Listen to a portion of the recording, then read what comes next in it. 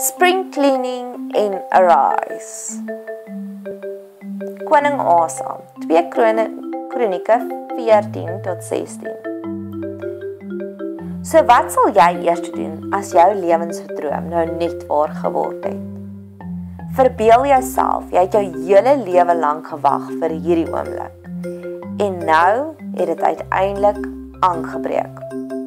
Wat sal jou eerste stap wees? Kom ons maak dit 'n bietjie meer spesifiek. Jy het al gehoor jy sal koning of koningin word van die eerste word van een van die grootste en sterkste nasies op die aardbome. En nou het dit gebeur. Wat sal die eerste ding wees wat jy sou doen? Sela. Pos. Dink daaroor. Eintlik is dit nog 'n video werk. Bedink hemelse dinge, sê Kolossense 3 vers 2. So ons mag maar 'n bietjie dagdroom oor die hemel, oor die perfekte staat waarin ons sal wees binnekort. Maar terug by jou eerste stap. Wat sou jy gedoen het?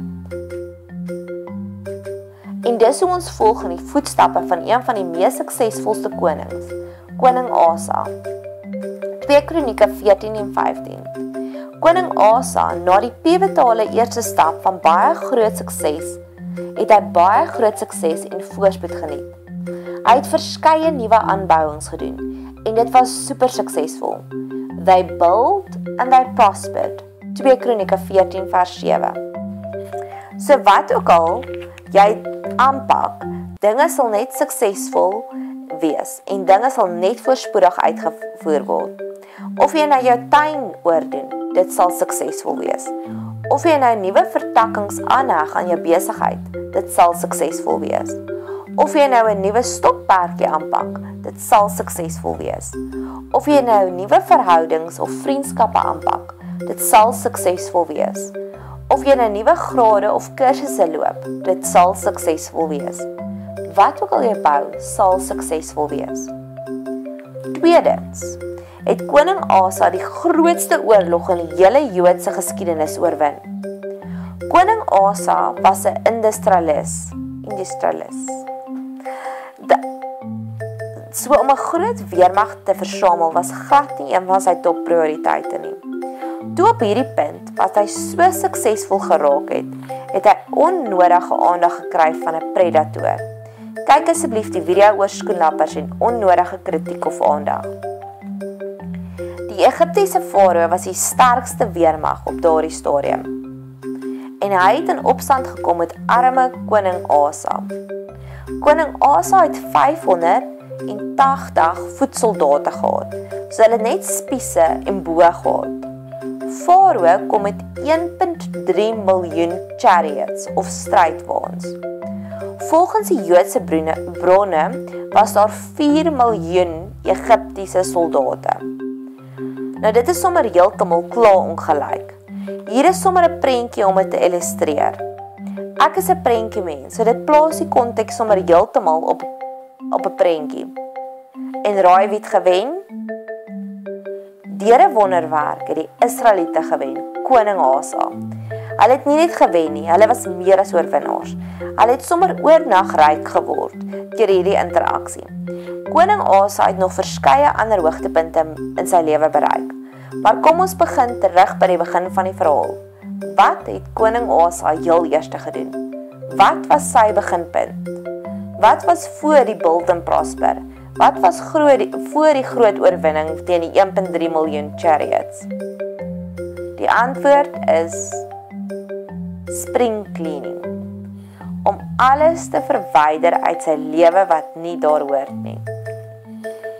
En ek glo ook so is dit met ons dinge in ons lewe. Dinge wat wortel skiet wat nie daar hoort nie. Verhoudings wat ons aandag en vrede steel. Dinge waaraan ons vashou wat nie daar hoort nie. Verantwoordelikhede wat nie daar hoort nie. Jesus het verskeie waarskuwings gegee om ons slae te raak van dinge. Ons as ons ons as gelowiges plaas so gereeld onnodige druk of 'n juk op onsself wat God glad nie vir ons bestem het nie. Ons glo ons moet almal probeer help. Maar Jesus het verskeie kere gesê: "Wees versigtig met wie jy jouself assosieer." Soos moenie jou parels vir die varke gooi nie. Of as iemand nie na jou wil luister nie, nie na die goeie nuus wil luister nie, skud die stof van jou voete af. Of soos vir Jesus gesê het, net mense wat na die wil van my Vader luister, is my broers en my moeder. Met ander woorde wat Jesus herhaaldelik gesê het is: stap weg. Spring clean. Walk away. En dit maak seer om iewers 'n grens te stel. Maar ek glo dis juis in hierdie oomblikke waar jy besluit jy spring clean, net soos Asa. Wanneer jy dis dan wanneer jy gaan begin build en prosper of wanneer jy jou, jou vyand finaal kan oorwin.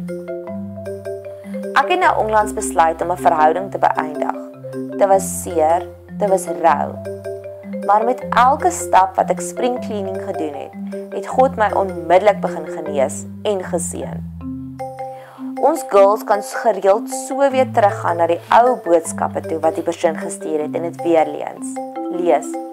En dan het die vyand ons weer vasgevang in sy web. So op 'n dag het ek besluit om alle kommunikasie wat daar tussen ons was te delete van my foon. En daardie selfde aand het God alreeds aan my 'n nuwe mansvriend oor my lewe gestuur.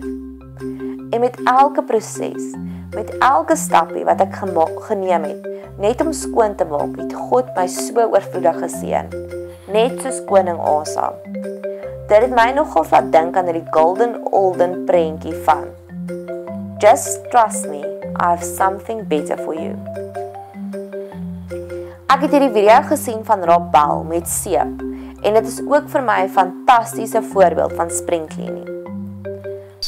None get to God but through trouble. And everybody said in a deep, low rumble, Amen.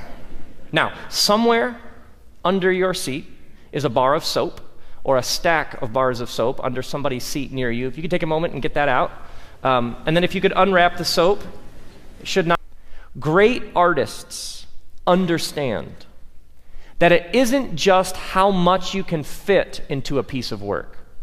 It isn't just how much you can cram in there. There is an equally, or maybe even more important task, which is knowing what needs to be taken away. A good graphic designer understands that it's not just how much that you can get into that logo, to that design, to that canvas. It isn't just how much you can cram in, it's knowing what needs to be taken away to get at the pure essence of the thing you are trying to create and design. It's the art of elimination. Anybody, Michelangelo said that his David was in the stone the whole time, clamoring to be freed.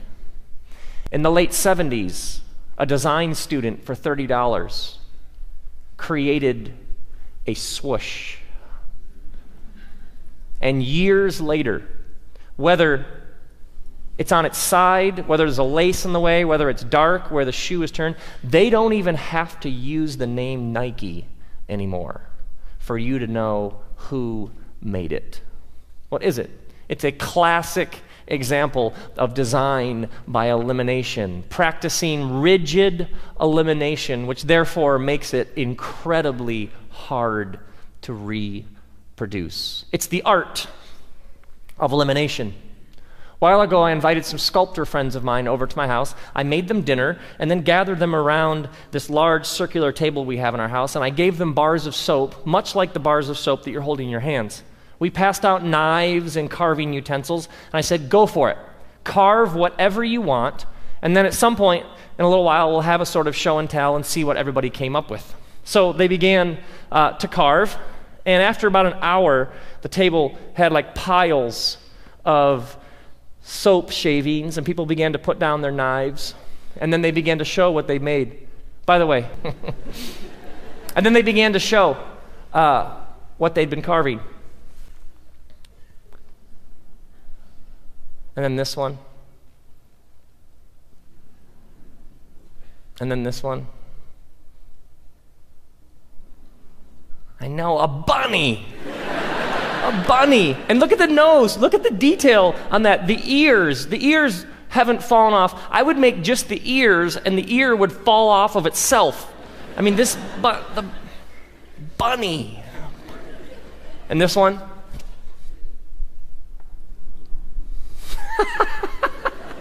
Every single city at this slide, the whole crowd goes. I know. This one. And I think this next one is uh, my favorite. Just amazing.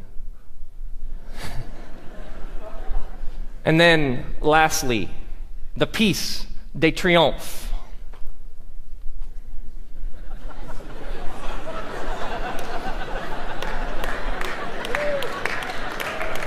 It's a urinal. I know. Oh, and then, and then we got this one, two slides as well, an infinity loop, endless possibilities. Now, take a look at the bar of soap in your hand. Everything that you just saw on the screen, you are holding in your hands. You are holding the bunny in your hands. You are holding the lynx in your hands. In your hands at this moment, you hold a soap urinal.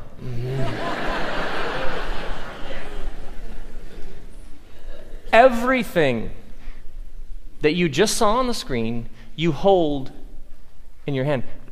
You literally have in the palm of your hand with that bar of soap endless possibilities. Endless possibilities of shape, form, texture, design, beauty. It's all right there. My sculptor friends simply knew what to take away. They knew what needed to be removed. They simply practiced the art of elimination and they got at something that was in there the whole time. I find So dalk kan net vandag en elke dag ons gebed wees. Here, wys my wat is nie veronderstel om in my lewe te wees nie. Verwyder dit. Ek wil ook spring clean soos koning Asa, sodat ek ook kan build en prosper. Ek is moeg daarvoor om bang te wees vir my vyande soos die farao. Wys my hoe ek kan oorwin.